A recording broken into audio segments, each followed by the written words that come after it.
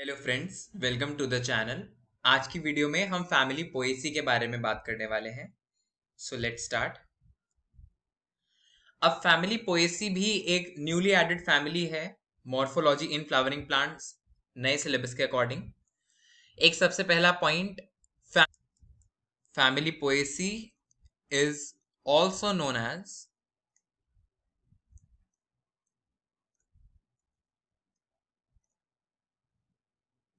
gramineae family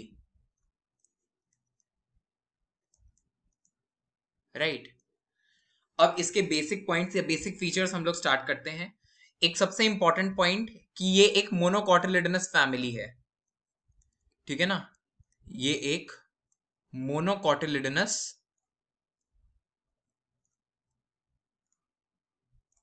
ये एक monocotyledonous family है।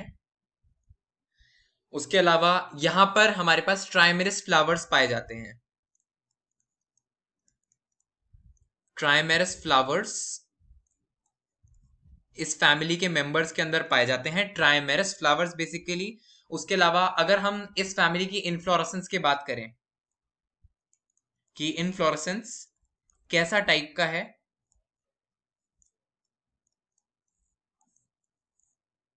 तो let me tell you inflorescence यहाँ पर जो है वो स्पाइक ऑफ़ स्पाइकलेट्स के नाम से जाना जाता है। यहाँ पर जो हमारे पास इनफ्लोरेसेंस है, वो है स्पाइक ऑफ़ स्पाइकलेट्स फॉर्म में लिख सकते हैं।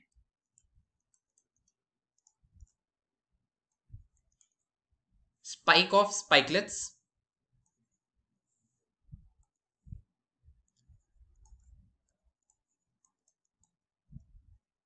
और बेसिकली ये स्पाइक ऑफ़ स्पाइकलेट्स नाम जो है वो बेसिकली um, हम लोग वीट के लिए ज़्यादा अच्छे से यूज़ कर सकते हैं।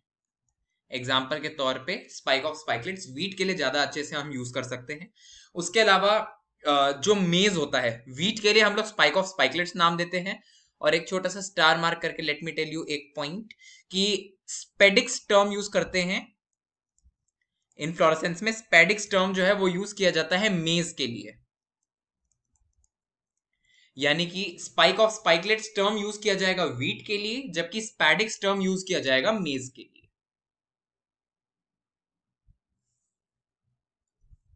Moving to the next point हमारे पास जो है, यहाँ पर जो स्टेम है, वो कलम टाइप का है। कलम टाइप ऑफ़ स्टेम यहाँ पर पाया जाता है। उसके अलावा हम कह सकते हैं, यहाँ पर जो लीफ बेस होगा, वो शीथिंग टाइप ऑफ़ है।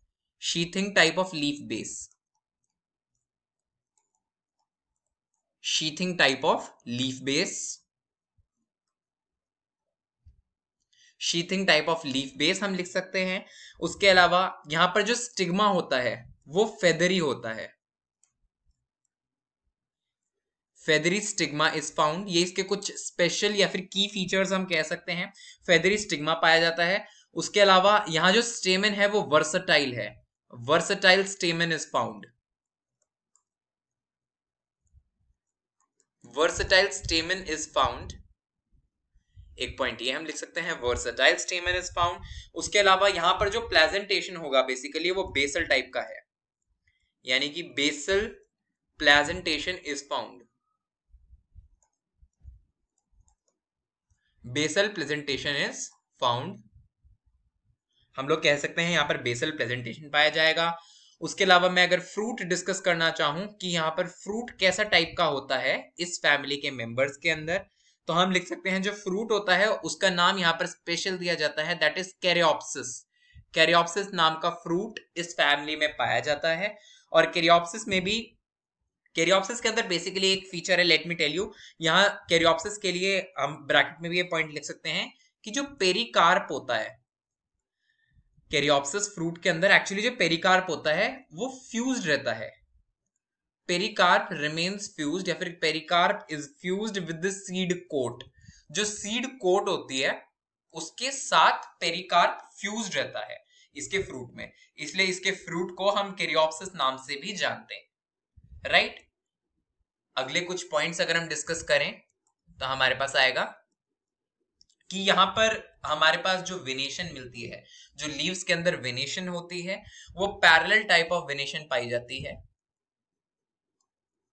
यानी कि पैरेलल वेनेशन इज़ फाउंड अब यहाँ पर पैरेलल वेनेशन क्यों आई क्योंकि हम अच्छे से जानते हैं, जितनी भी मोनोकॉट फैमिलीज़ होती है, जितनी भी मोनोकॉटिलिडनस फैमिलीज़ होती हैं, उनके अंदर पैरेलल वेनेशन पाई जाती है, जबकि जो डायकॉटिलिडनस फैमिलीज़ होती है, उनके अंदर रेटिकुलेट वेनेशन पाई जाती है। बिकॉज़ ये हमारी जो फैमिली है फैमिली ग्रामीनी ये एक मोनोकॉटिलिडनस फैमिली है, इसके कारण यहाँ पर पैरेलल वेनेशन पाई जाएगी। उसके अलावा अब एक और इंपॉर्टेंट या फिर मैं इसको की फीचर कहूँगा इस फैमिली का, इसलिए मैंने एक स्टार मार्क भी कर दिया है। हम इसको की फीचर कह सकते हैं बेसिकली इस फैमिली का कि the presence of lodicules presence of lodicules और ये मैं कह सकता हूँ कि ये स्पेशल फीचर है या डिस्टिंग्विशिंग कैरेक्टर है फैमिली ग्रामिनी का। और ये लोडिक्यूल्स होते क्या हैं? ये रिड्यूस्ड ये लोडिक्यूल्स हैं क्या? Let me just define it it is basically reduced reduced membranous staples यानी कंप्लीट नहीं है रिड्यूस्ड है। टेपल्स वो भी reduced reduced membranous tepals reduced membranous staples are basically called as lodicules right? ये फीचर आप ध्यान रखें। उसके अलावा, अब एक और important feature let me tell you ये फैमिली इकोनॉमिकली सबसे ज़्यादा इंपॉर्टेंट फैमिली कंसिडर करी जाती है या मानी जाती है। इसलिए हम लिख सकते हैं economically not ecologically economically economic value के तौर पे। Economically it is the most important family economically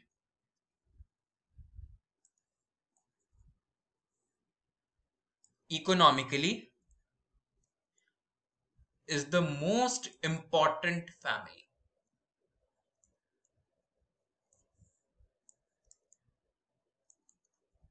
Economically it is the most important family ये कह सकता हूँ मैं।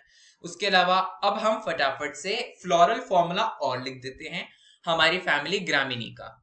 फ्लोरल फॉर्मूला लिख देते हैं। फ्लोरल फॉर्मूला में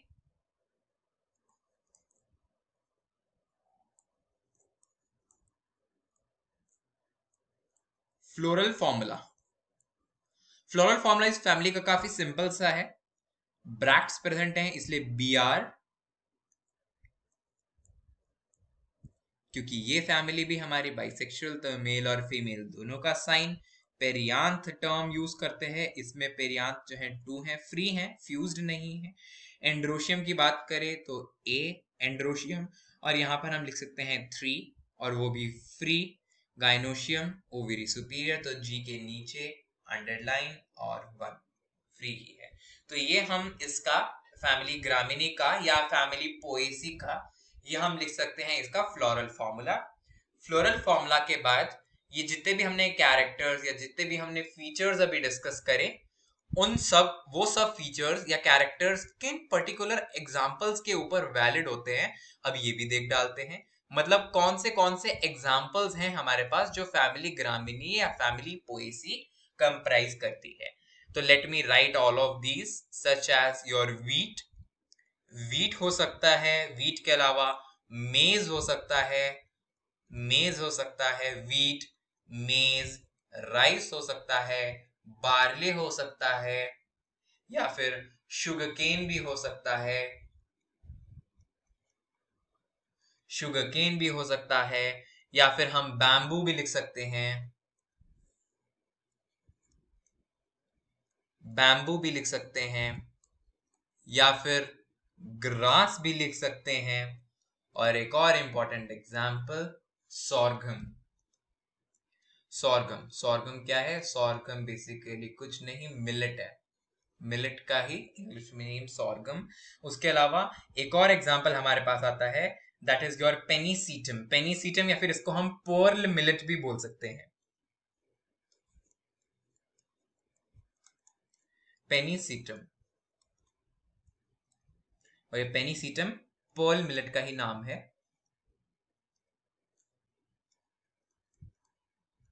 पर्ल मिलेट